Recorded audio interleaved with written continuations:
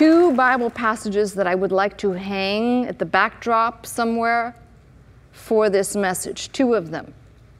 You don't have to turn in your Bibles, I'll just tell you what they are. One of them is out of Deuteronomy 33 27. The eternal God, our refuge, and underneath are the everlasting arms.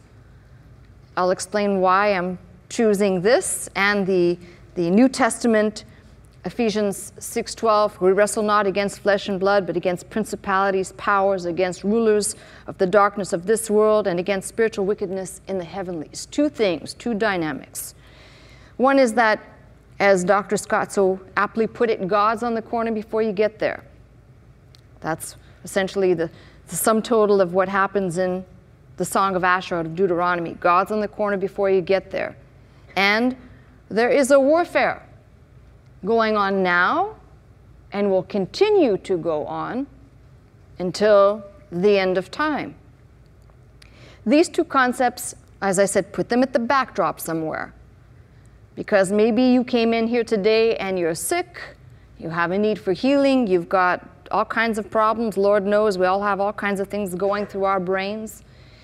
And this type of teaching does not necessarily speak to uh, specific need at the moment, but the big picture says God is underneath it all, in it all, and be- He's on the corner before you get there. And the paradox, the sidebar, is that there are forces that come against the saints. We need to be cognizant of that. These two bookends, if you will, let me go into the subject that we're looking at, which is leading to the book of Revelation through the book of Daniel.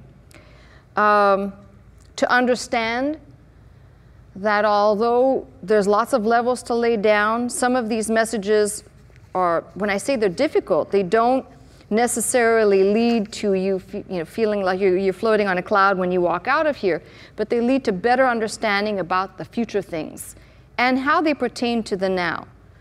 We read in Thessalonians where it says the spirit of lawlessness, iniquity, and lawlessness is already at work and has been at work, was in was in the works, if you will, in John's day and in Paul's day, and is still now until this day, and will be until that man of lawlessness, Antichrist, is revealed. And he won't come on the scene, by the way, as a man of war. He won't come on the scene as a man who's going to start, as some people have erroneously propagated, he will come on the scene threatening. And no, he'll come on the scene with our current world status, the world will love him. He will come saying great flattering things to the nations, and the nations will think, This is a miracle. This man is coming and he's bringing everybody to the table. When you see that happening, know the end is near. Now, let me give you the key to understanding the whole book of Daniel. You'll find the key to understanding the whole book of Daniel is in two separate verses in the second chapter. And before I give you that, let me give some backdrop real quickly. The book of Daniel is set in the period of the Babylonian Empire and the carrying away of the people. We know that Daniel and some of his friends were part of that first group carried away. They were part of an elect group, handpicked, I guess, to serve in close proximity to the king. And you can find all of this information through, peppered throughout, specifically the, the carrying away of the people into Babylon uh, is in Jeremiah. You can read about it for yourself in your own time. And of course, the opening chapter of Daniel tells us about the nature. The nature of the person of Daniel is being depicted in that opening chapter to show that um, he was a goodly and a godly youth. And then we move into the fact that Nebuchadnezzar, who is the king, has a dream. And he calls for all of his wise men, astrologers, to interpret the dream. But first, they had to tell him what the dream was because he forgot it. Nobody could. So he was basically going to do away with them all. And of course, um, Daniel is summoned, prays. He and his friends pray earnestly, and then he goes in and he not only reveals the dream to the king, but he gives them the interpretation of what he dreamt. And we're going to re- review that.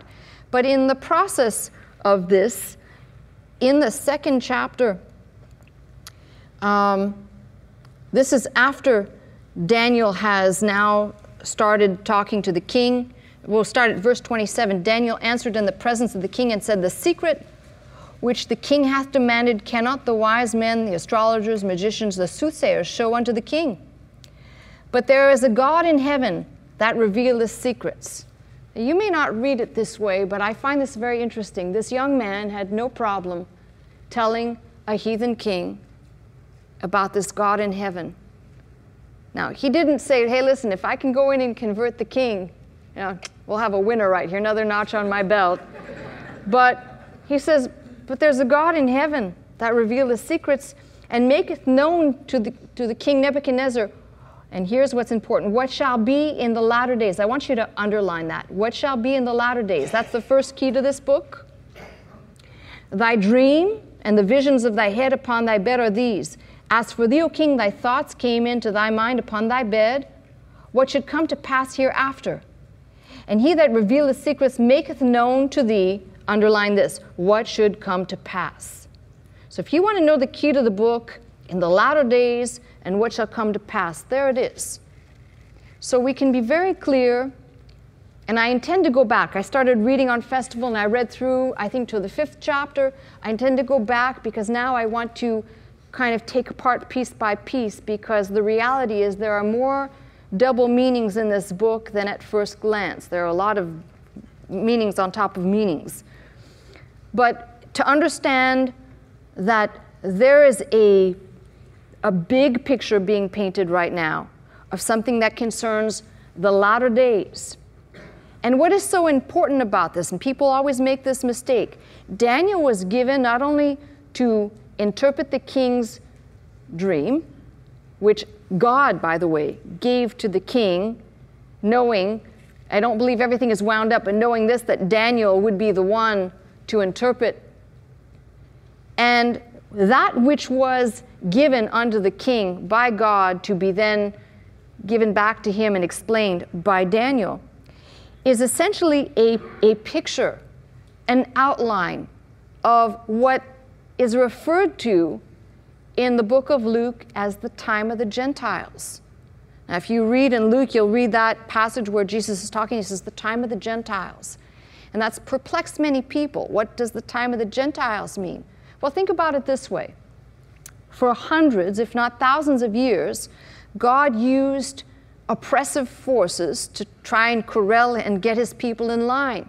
If you remember way back there, the promise given to Abraham, telling Abraham that he would be father of many and that the people would go into Egypt four generations, come out, then they would be richer than when they went in. Well, somehow they had to get into bondage, right? They just didn't get rounded up. It was all this happening now where uh, there's a famine in the land and Joseph is head in the land, and of course, Jacob and, and the sons venture into Egypt to get food. And then, of course, it opens, Exodus opens with there arose a Pharaoh who knew not Joseph. And now you're into the place where they are in bondage in Egypt. And God has had successive waves of this. Now, that first wave was not necessarily, I wouldn't put it as a punishment, but more as a promise. The next one will be the Assyrian. And the Assyrian will carry away that first group of people. And then it's the Babylonians. So God has successively used these heathen people for a purpose. This is no different. But what's interesting is that the time of the Gentiles is reflected in the image that Daniel will describe. So this is what's important. Let's, let's take a look at this. Uh, gives the interpretation of the dream starting at verse 31 Thou, O king, sawest and beheld a great image. Now, I want you to think about this. This image, this image, this great image, whose brightness was excellent, stood before thee. And the form thereof was terrible. Well, if you looked at my drawing, it was pretty terrible. Here's what I want to tell you. When I said there's double meaning all over the place, there's a lot of double meaning we know this is the image of a man. It's not an image of a beast, correct? It's an image of a man. What's the number of man? Six. Six, right. And when this statue is built because Nebuchadnezzar decides to build it. it the, the, scripture says it's three score cubits, that's 60 cubits tall, and the breadth of which is six cubits. It's kind of interesting that it's the number of a man, that it's 60 cubits, and it's six cubits breadth. That's six, six, six. Kind of interesting. I'm not suggesting that that is the same as 666 in Revelation, but it's interesting when you pay attention to these things that there's a principle, not an exactness, but there's a principle that will be very important to understand about this image that reflects on an end time situation. Let me stop there for a minute because I'm going to lose some people and they'll say, what, what on earth is she talking about? The church today is so busy trying to get people in with entertainment to make it interesting, fun. Have a kids program because your kids they need to go to church to watch cartoons and you know get fed cookies or something.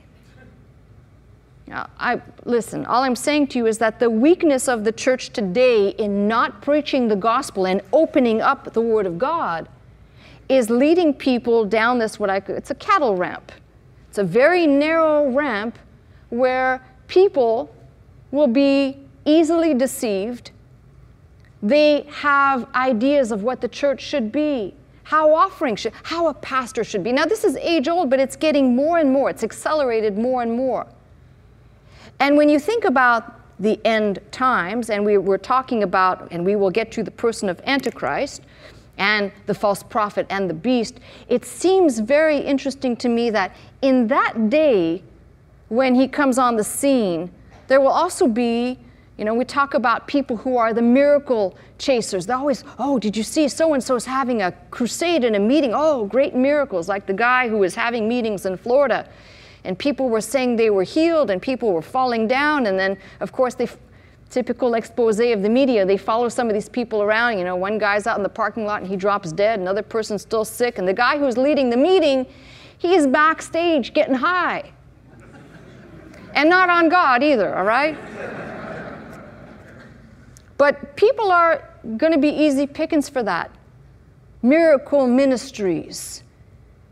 So, what I'm saying to you is if we're not careful, Nebuchadnezzar has this image revealed to him, and then he decides to build the image, and anyone who will not bow down and worship that image will be put to death. This is why the friends of Daniel, Shadrach, uh, Meshach, and Abednego, are put into the furnace for not bowing down to the image. They would not bow down to something that was not God. How many people today are able to say they know the difference between what is of God and what is of man? Humanism, socialism, every type of thing but God. And that's why I said you need to understand there are great parallels in this book to lead us right now and also to make us understand what will be at a future time. So don't. So there's nothing in here that's a, that's wasted. This is this is indeed like you know eating the meat off the bone. There's nothing in here that's wasted. The great image, whose brightness was excellent, stood before thee. The form thereof was terrible. The image's head was of fine gold. The head of gold, and that head of gold is Babylon, and it's also the only place where we have a reference specifically. The head is you. So the head is Nebuchadnezzar's kingdom, all right? So we have the head, and then we have his breast and arms of silver. Try and make this less painful than last week. And let's make his, let's make the arms look like they're crossed. He'll look like the uh, uh, Oscar guy, the statue. little muscles there. All right. So we have the we have the breast and arms of silver, the Medo Persian Empire. No specific king or person referenced, and we'll read about this. His belly and sides of brass, belly, sides of brass. And you watch the metal is getting uh, less and less. You see that Grecia representing Alexander the Great's kingdom. And then we start moving down. Let's just pretend that we amputated the middle part there. And we've got legs. And here we go. Here are the feet. I had to do this, make him shorter today. So he's sitting. How's that? Looks like he's sitting, all right? That solves the problem.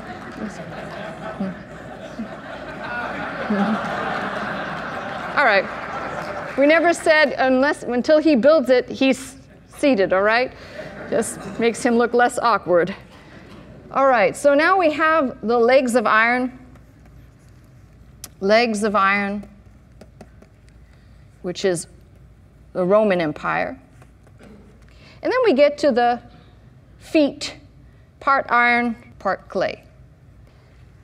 And this is very important because we talked about the 10 toes, and the 10 toes will be the 10 toes equal the 10 kings equal the 10 horns that we will find as we go through this book. So here's the big picture. Thou sawest till that a stone was cut out without hands. We'll talk about that another time, which smote the image upon his feet uh, if you want the, the nutshell of this is the fact of the matter that nothing, nothing up until this point, everything from the head, let's just talk about to the ankles, nothing had been smote, smitten, destroyed, but he says the image upon his feet that were of iron and clay, break them in pieces. That has not happened yet. That is not, that's yet to come. Then was the iron, the clay, the brass, the silver, the gold broken to pieces together, became like the chaff of the summer threshing floor. And the wind carried them away. No place was found for them. The stone that smote the image became a great mountain, filled the whole earth. We'll talk about the stone kingdom, the kingdom of Christ, when it is set up for another message. Thou, O king, art a king of kings. For the God of heaven hath given thee a kingdom, power, and strength, and glory. Now, this is kind of important because what's going on here? He says, go to verse, last part of verse 38, Thou art this head of gold.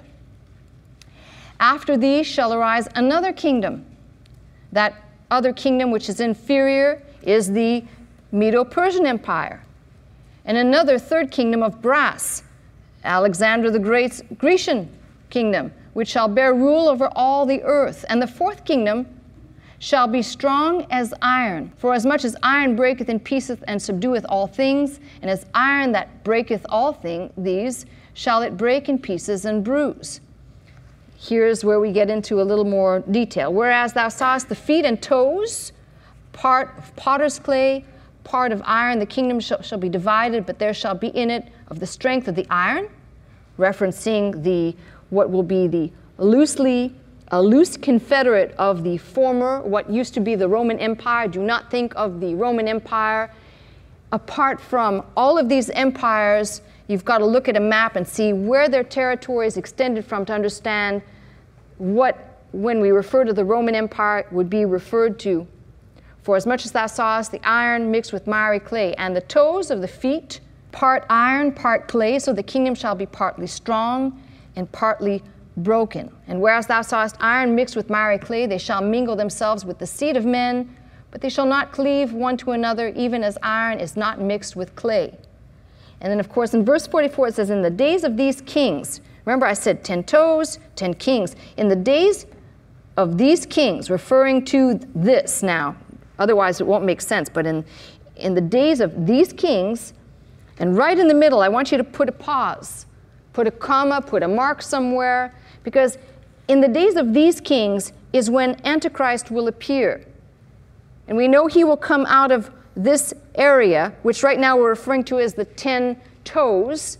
And later on, as we get into a more clear picture of what we're looking at, the area we're looking at, we'll be able to say out of what territory Antichrist comes out of.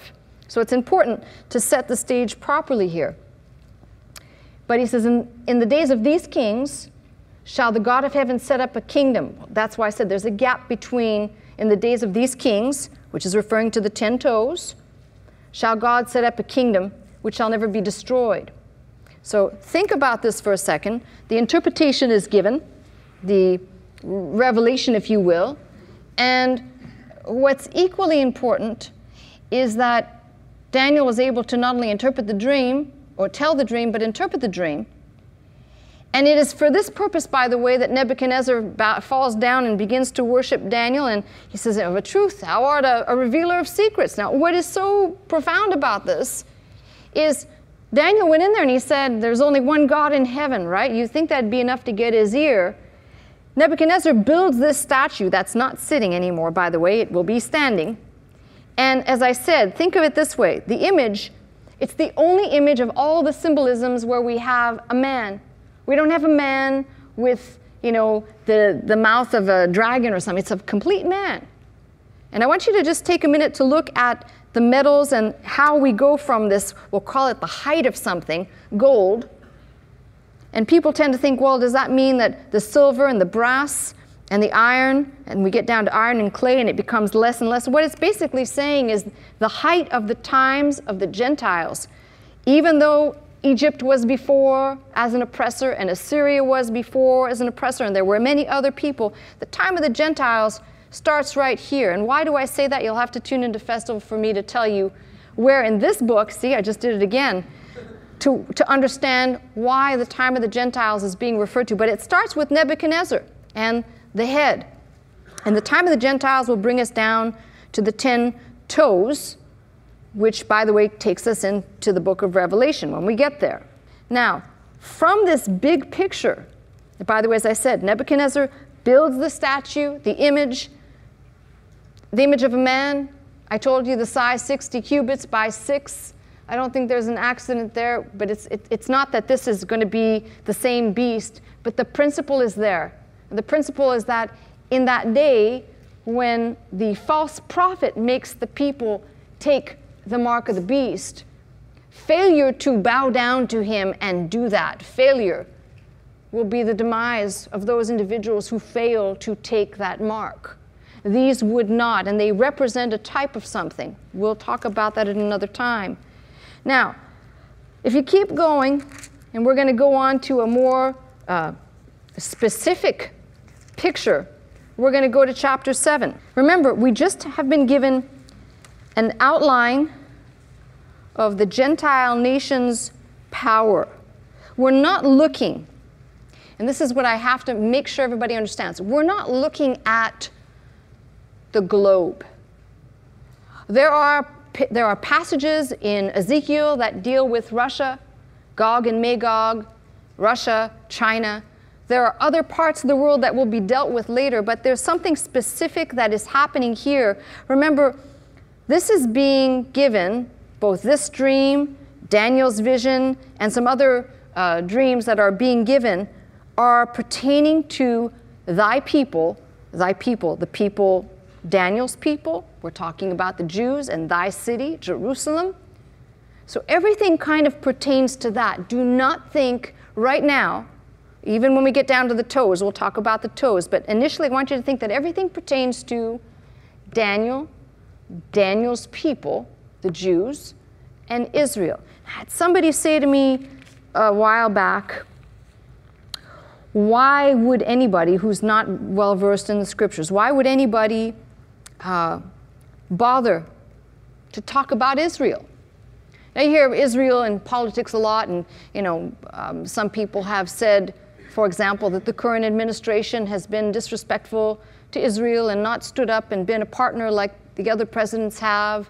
Uh, a lot of people who don't understand will say anti-Semitic or really very ignorant things because they don't know about the Bible. But everything through this book, Daniel, Ezekiel, part of Zephaniah, and specifically Revelation, will deal with Israel at the center of everything.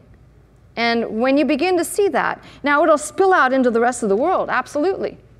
But that's the place to focus on. That little swath of land that people have been fighting over forever and ever. So let's not get confused. Don't get don't think, well, this is going to be, it will be a global event eventually.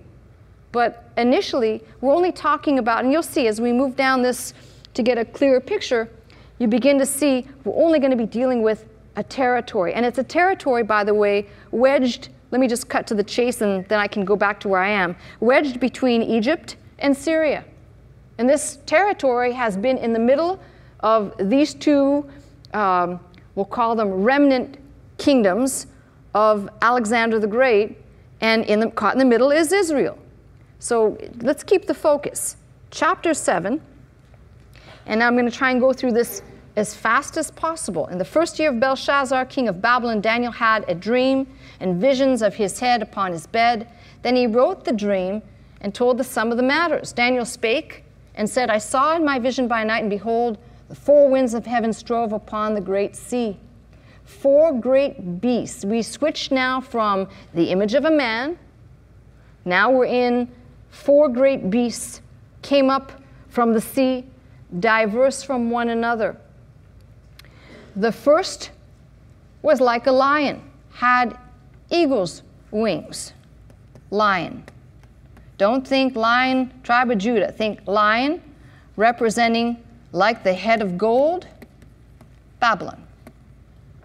I beheld till the wings thereof were plucked off, and it was lift, lifted up from the earth and made stand upon the feet as a man, and as a man's heart was given unto it. That will be understood when we study the time of the Gentiles together. So don't just all you need to know is it's re- referencing Nebuchadnezzar's kingdom, and then, of course, what happens to Nebuchadnezzar ultimately. Another beast, a second, like a bear, like a bear, raised up itself on one side, had three ribs in the mouth between the teeth of it. So now we're talking about silver, same thing, and now we're talking about Medo Persia. It's just confirmation. Somebody might say, wow, you make this stuff up? Nope. I couldn't if I tried. Arise, devour much flesh. After this I beheld, and lo, another, like a leopard. Remember, we went from man, now we're at beast, which had upon the back of it four wings of a fowl. The beast had also four heads, and dominion was given to it. We know that this is the brass, Grecian.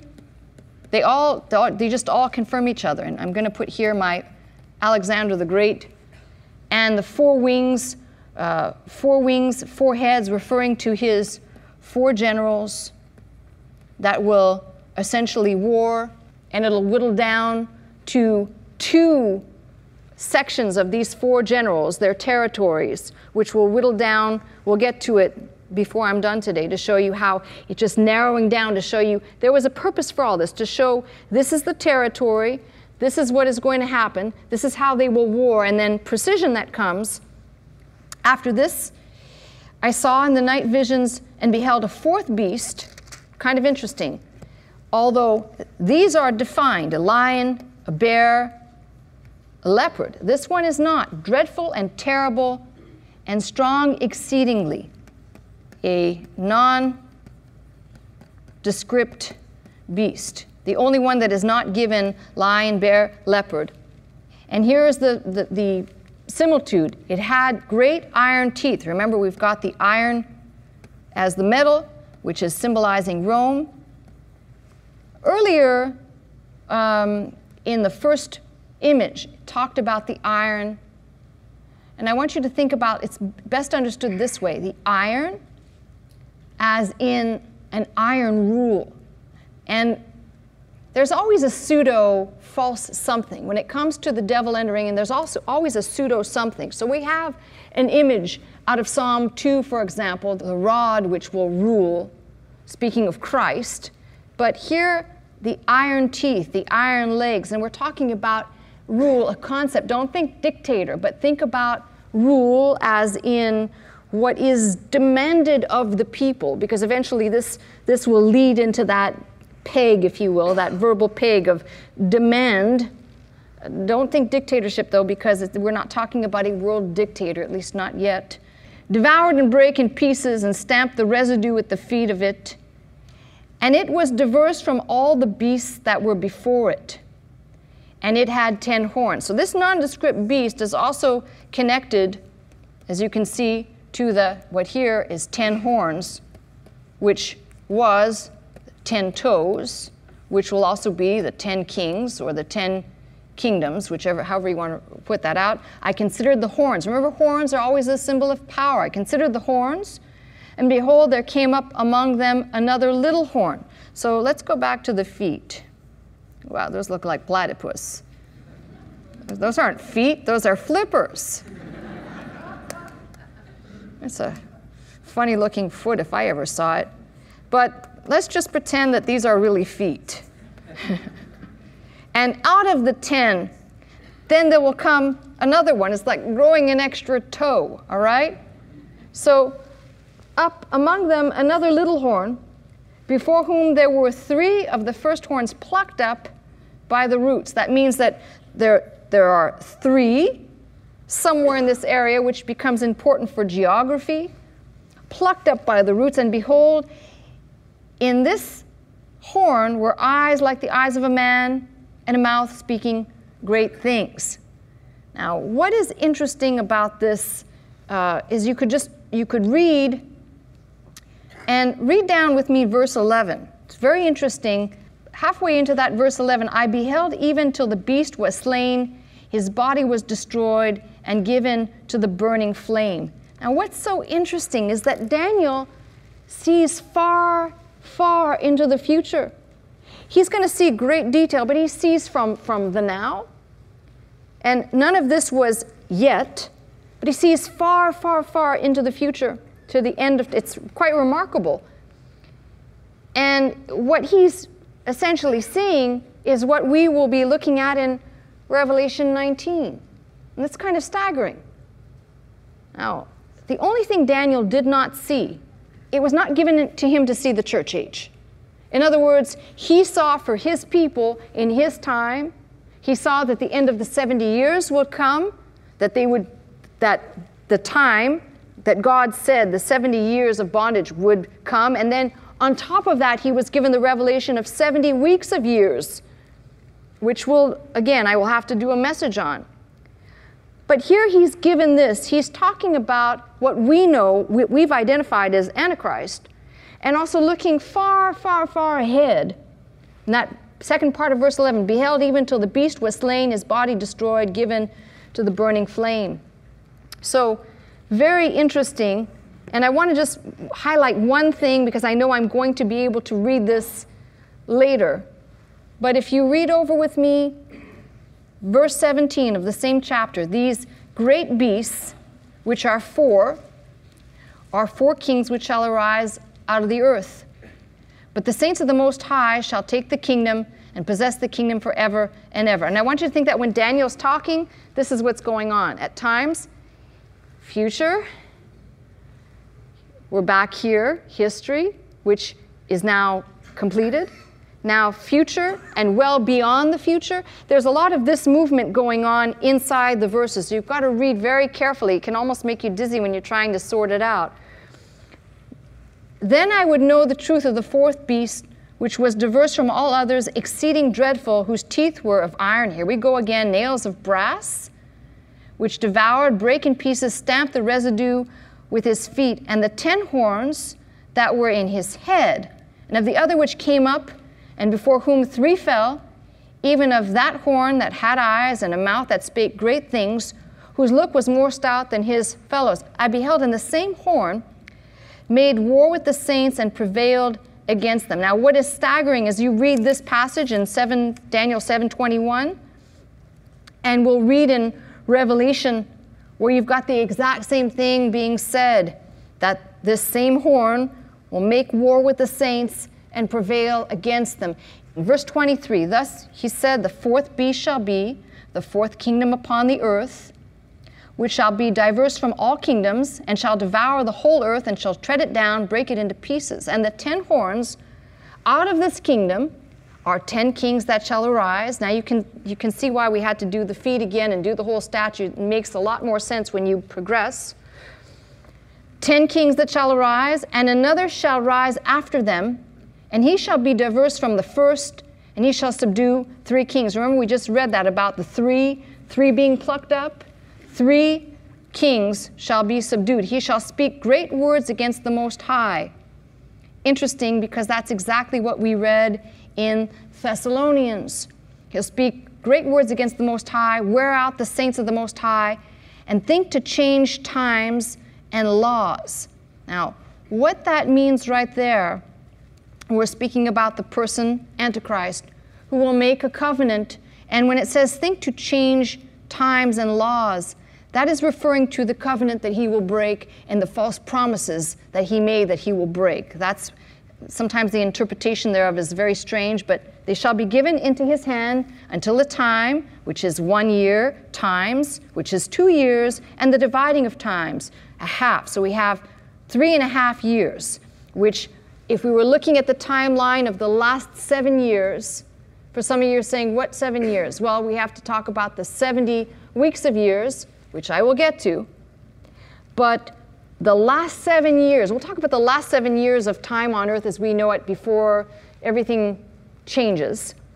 Right in the middle of those seven years, the three and a half year point, is when the, the man who was known as the man of peace, who came on the scene, who everybody said, Oh, this man is great, who came and made all these promises to people, spreading and dividing wealth. Antichrist is revealed for who he really is. And basically, all hell on earth breaks loose. And that's when you read those kind of scary passages in Revelation. You're looking at the last three and a half years when things are being poured out on the earth.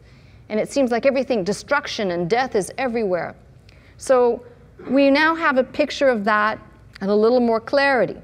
Now it goes from, we've gone from the image of the man with the kingdoms, with the toes. Now we've gone to these four beasts. Three of them identified, one is nondescript, and I actually might one of these days describe it to you as well, but right now we're calling it the nondescript beast, which is part of the Roman Empire, plus the toes. And we talk about the Roman Empire, I want you to think about a loose confederacy, not necessarily, don't think Rome as in you know, Italy. I want you to think about the loose confederacy of the kingdoms that existed from Babylon, Medo-Persia, Grecia, everything that was comprised in that. Don't go beyond uh, India on the one side. Don't go beyond a certain border, we'll call it beyond the Isles. For example, Caesar went to England and then came back. I don't want any of that, right? So we're talking about a contained space, which is referring to that portion of the Roman Empire. These 10 toes, these 10 kings, will be a loose confederate of that portion of what is being referred to as the Old Roman Empire.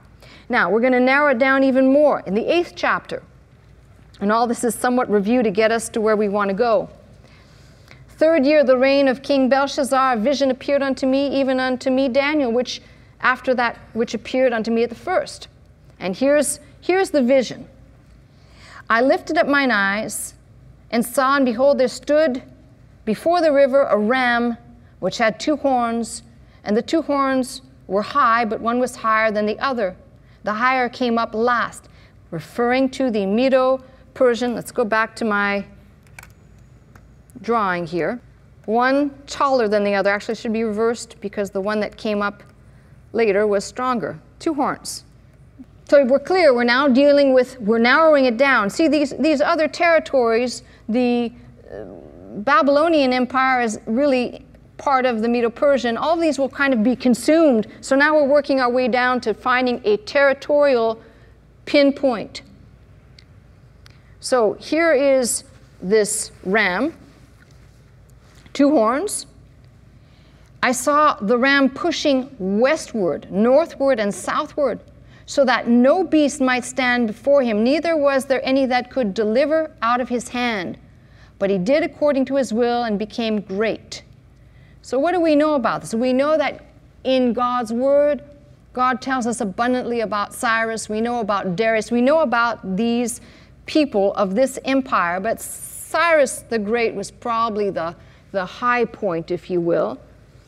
Um, and he says, As I was considering, behold, a he goat came from the west.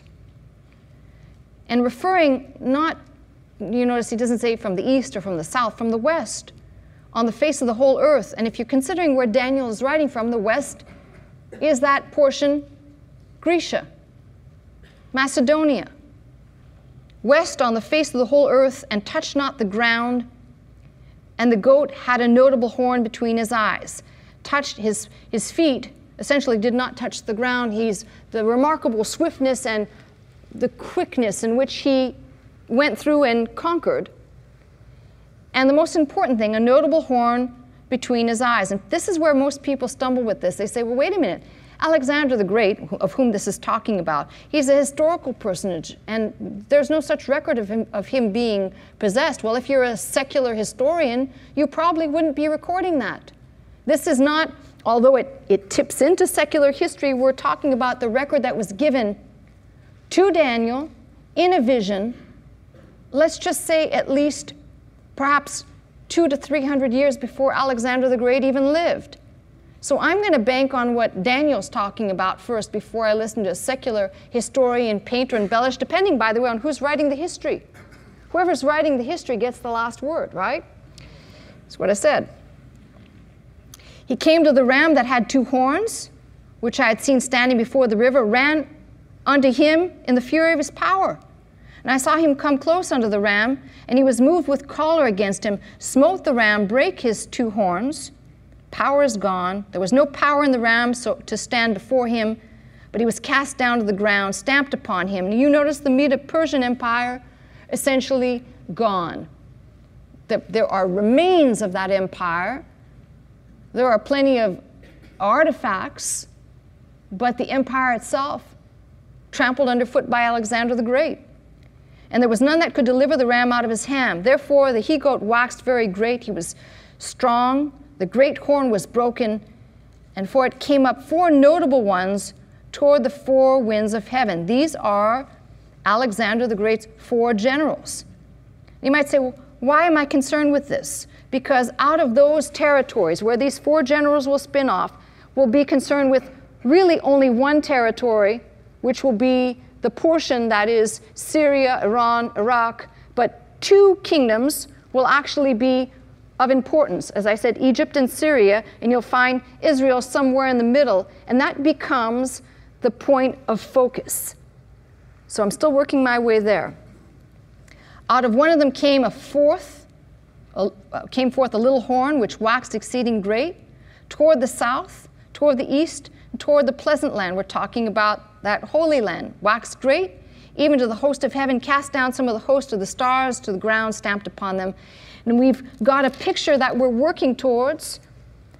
And I'm going to do this real quick. Jump to verse 20. The ram which thou sawest having two horns are the kings of Media and Persia. The rough goat is the king of Grecia, Alexander the Great. And the great horn that is between his eyes is the first king.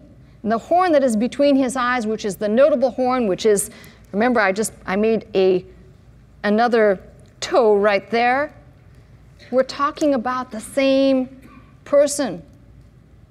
We're talking, we're now getting a picture of an individual, future time. Now, the spirit of this individual whom I'm describing, we will see in the 11th chapter. We will see the spirit of that individual.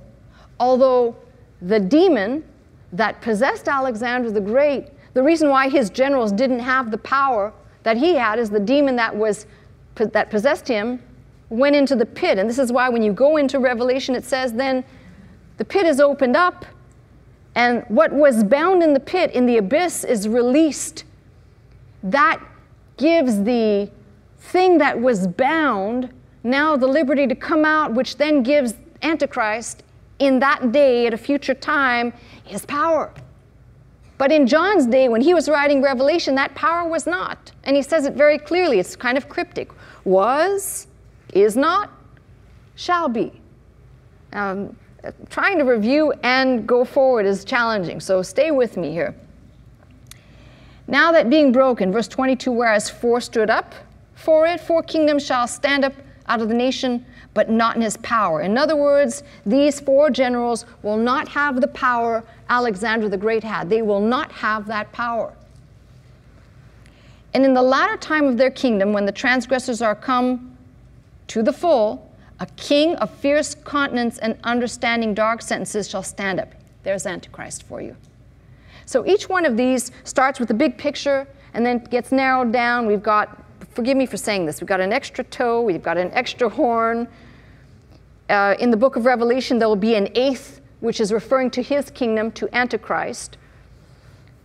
His power shall be mighty, but not by his own power. He shall destroy wonderfully. That's a terrible description. He shall prosper and practice and shall destroy the mighty and the holy people.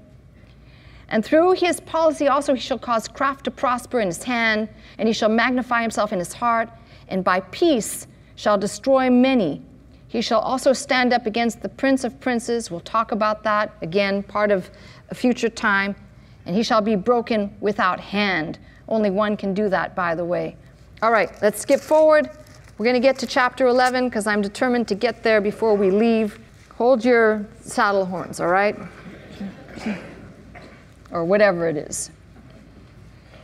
Chapter 11 now goes from, we went from this, the image, the four beasts. Now we've got the ram and the goat, and now we're down to specifics. We're going to be talking about Egypt and Syria. And everywhere, this is going to make it easier for you, everywhere where you read the king of the south, know that that's talking about Egypt. And the king of the north is referring to that Syria portion. That makes it easier to understand. Just make a note somewhere every time you encounter that king of the south, Egypt. Just put that in your brain. And now I will show thee the truth. Behold, there shall stand up yet three kings in Persia the fourth shall be far richer than they all. By his strength, through his riches, he shall stir up all against the realm of Grecia. That, historically, you can trace all of these people. This is what's so mind boggling. When I said to you the detail, I said to you a week or two ago, the detail on this is staggering. The fourth is none other than Xerxes, and we can trace a record of this. The historical person at the time, not history, but prophecy. And a mighty king shall stand up that shall rule with great dominion and do according to his will. And when he shall stand up, now we're back to Alexander the Great again. His kingdom shall be broken and shall be divided toward the four winds of heaven, not to his posterity, nor according to his dominion which he ruled, for his kingdom shall be plucked up, even for others beside those. Now we have just looked at Alexander the Great, and then it will be given, but not to his posterity, to his four generals. And these four generals would be warring with each other according to their territories. And the king of the south, who is that?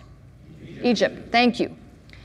Notice one thing. Let me go back to the end of verse 4 of shall be plucked up. The word there should be understood as plucked up, as in plucked up and cast into the bottomless pit. That's the power that ruled Alexander that his generals did not possess.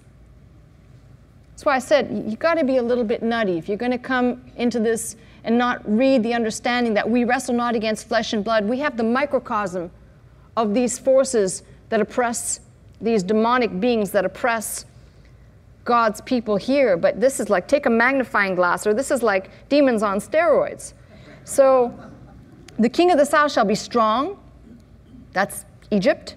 King of Egypt shall be strong. One of his princes and one of his princes, and he shall be strong above him and have dominion. His dominion shall be great dominion.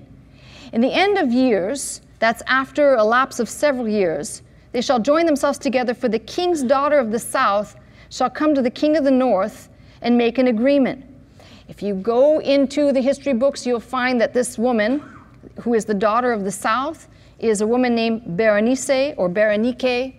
And there's a whole a history about this, which I, I don't think I'm going to get into. I think I'm going to leave you dangling a little bit. For those of you who want to know, you can come back next week and I'll pick up in the 11th chapter.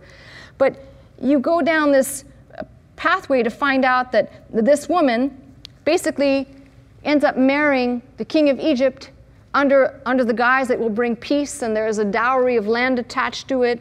But it says, She shall not retain the power of the arm, neither shall he stand, nor his arm but she shall be given up.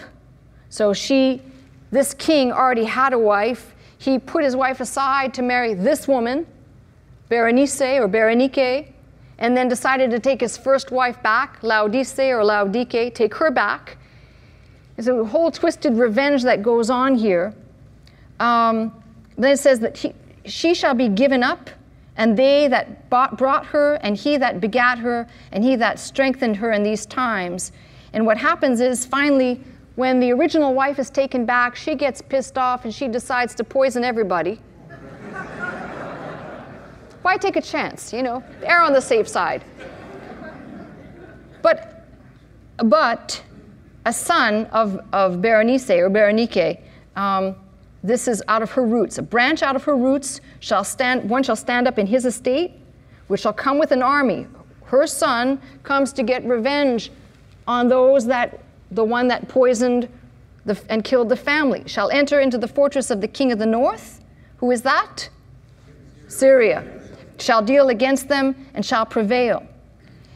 And shall also carry captives into Egypt, their gods with their princes and their precious vessels. And this is a telling historically of the 10,000 talents of silver and the 4,000 captives that were carried off in this event. All of this is history. You can go through this verse by verse. So the king, king of the south shall come into his kingdom and shall return into his own land. But his son shall be stirred up, shall assemble a multitude of great forces. One shall certainly come and overflow and pass through. Then shall he return, be stirred up even to his fortress. The king of the south shall be moved with choler We've, we've now passed about three different kings at this point. So when we read King of the South, don't think it's one king. It's now transitioning from, and historically I could get into them, but I'm running out of time. Just listen to what happens. You've got the king of the south, the king of the south, the king of the south. Let's jump to verse 17. He shall also set his face to enter with the strength of his whole kingdom, and upright ones with him. Thus shall he do and he shall give him the daughter of women, corrupting her, but she shall not stand on his side, neither be for him. Here is Cleopatra, who was given in marriage, again, as some type of a political and territorial pawn. And instead of siding with her dad, she sides with her husband. When the Romans conquer and they begin to conquer, she's basically sending some congratulatory remarks. Instead of siding with the dad, she's siding with the wrong side. This is why it says, But she shall not stand on his side, neither before him. Jump ahead with me to verse 36. Because suddenly we jump from the king of the north, the king of the south, and we'll revisit that, to, and the king shall do according to his will, and he shall exalt himself, magnify himself above every God, shall speak marvelous things against the God of gods, and shall prosper till the indignation be accomplished. For that, that is determined shall be done. Think of this now, we're now talking again about Antichrist. So, what's happened here is in chapter 11, we've gone to the north and the south, the territory in the middle, and I need to explain all of these back and forth between the north and the south because it's, it's that area of Judea, Palestine, Israel will always be the punching bag in the middle. Every war is going to be waged between that territory.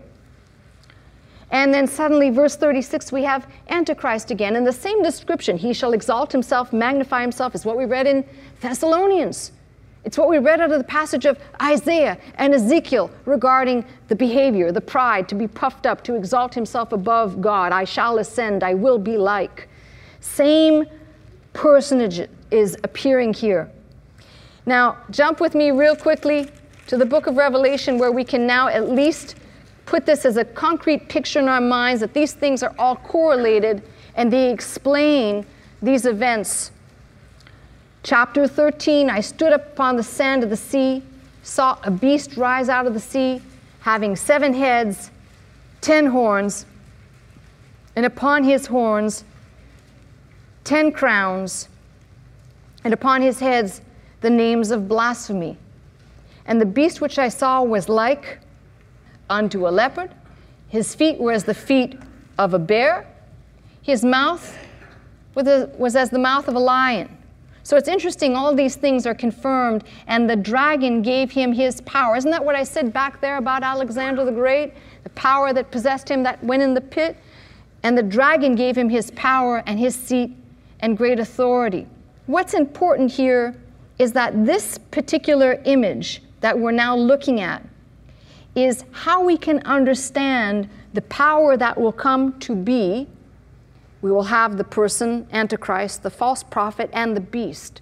Lots of people always clump these three together, but they are three separate. And we will see as we go that we've got the same principle. Remember, I said back there in Daniel 7:21 about making war with the saints. You remember that? Well, you read it right here in verse 7 of the 13th chapter. And it was given unto him to make war with the saints and to overcome them. And power was given him over the kindreds and tongues and nations. But there's one thing that you can count on. And that one thing is, as I said, using a promise of the Old Testament God is on the corner before you get there. God's going to be on that corner too. Now, if you want to be here, that's your business. I don't want to be here. But God will still be in control and on the corner before all of these events come down. And the reality is, understanding we, we here on earth wrestle not against flesh and blood, but against principalities, powers. We wrestle against all these forces that in the days of what we're looking at, a future time, will be unleashed upon the earth in a magnitude we can't even fathom. Somebody says, Boy, the devil's really been on my back. Well, let me just tell you something. It'd be nothing like in the days of the Great Tribulation when saying the devil's really on my back will have a, an interesting meaning to it. But what, especially, especially if you're, uh, never mind, we'll just, we'll leave that alone. But what I'm trying to say is that this picture at least gives us an understanding that what Daniel saw was looking far ahead to this sometimes mysterious person who, if the church of Jesus Christ is not careful, this is not a scare tactic. It's just saying this is why you preach the whole book. You open it up, it confirms itself. There isn't anything nutty about this. What is nutty is that most people won't listen, they won't hear. They think, oh, this is a bunch of silly stuff. But there will come a time when these things will come to pass. And the beautiful thing is for those people who are equipped with the whole arm of God now, they know how to withstand and rebuke the spirit of lawlessness, of Antichrist, which is already at work in the land. That, what I say, is the intervention of those people who think that you, as a person who supposedly belongs to the body of Christ, need some humanistic help, some other things to make it through, versus those people who say, I will depend, like Daniel, I will depend and trust in the name of my God, and recognize that there is a God in heaven who reveals secrets through His Word now in these days, not through visions or dreams, but through His Word. And He's given His Word to say that we don't have to fight these terrible demonic forces, which will yet be, but we have to fight the fight now against those things that come upon the saints in our time. As we stay vigilant and fight the good fight of faith and we keep the faith, God sees that and He will lead us through. For the rest of the people who'd like to know what these two north and south things have to do with the book of Revelation, I ask you to come back next week and I'll pick up right there. That's my message. I'm Pastor Melissa Scott, pastor of Faith Center, Glendale, California.